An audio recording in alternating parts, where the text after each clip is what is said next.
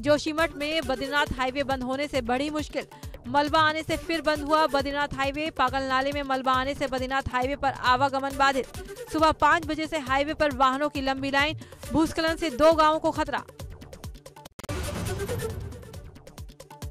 बड़कोट में मलबा आने से नेशनल हाईवे चौरानवे हुआ बंद। यमुनोत्री हाईवे पर दोबाटा कुथनौर। पालीगाड़ में सड़क पर आया मलबा, पेड़ मलबा और बोल्डर आने से बंद हुआ हाईवे। सड़क पर फंसे राहगीर, रास्ता खुलने का कर रहे इंतज़ार। रुद्रप्रयाग में देर रात से मूसलाधार बारिश जारी। बद्रीनाथ हाईवे दो जगह पर मलबा आने से बंद।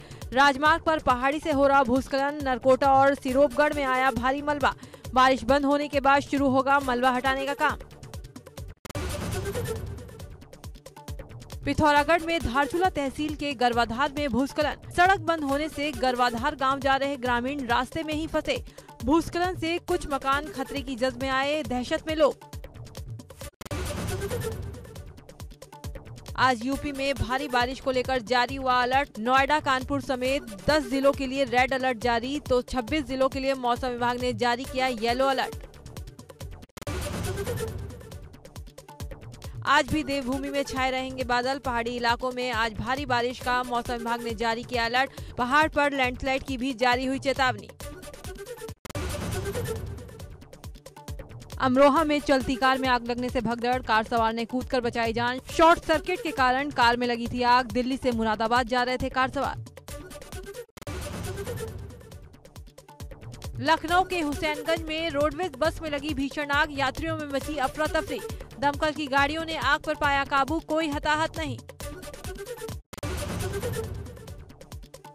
स्वास्थ्य मंत्रालय की प्रेस कॉन्फ्रेंस आज देश में कोरोना की स्थिति पर शाम चार बजे होगी प्रेस कॉन्फ्रेंस। कोरोना के ताज़ा हालात को लेकर देंगे जानकारी। राजधानी लखनऊ में डेंगू के दो बच्चों समेत 11 और नए केस आए सामने। लोकबंधु अस्पताल में दो बच्चे डेंगू से पीड़ित हुए भर्ती। गाजियाबाद में डेंगू के 16 मरीज़ मिले। अब तक 19 लोगों में हुई पुष्टि। स्वास्थ्य महकमा डेंगू से बचाव की तैयारियों में जुटा। फिरोजाबाद और मैनपुरी में भी कई बच्चों में मिले मील एक्यूट इंसेफेलाइटिस सिंड्रोम के लक्षण। स्वास्थ्य विभाग ने अन्य जिलों में भी लक्षण के आधार पर दिए जाँच के निर्देश। औरैया में मंडी समिति के पास नेशनल हाईवे पर बड़ा सड़क हादसा।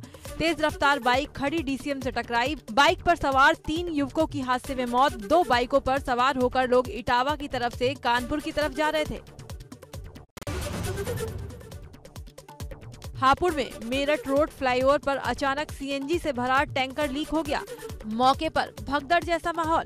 अपनी अपनी गाड़ियाँ छोड़कर भागे लोग।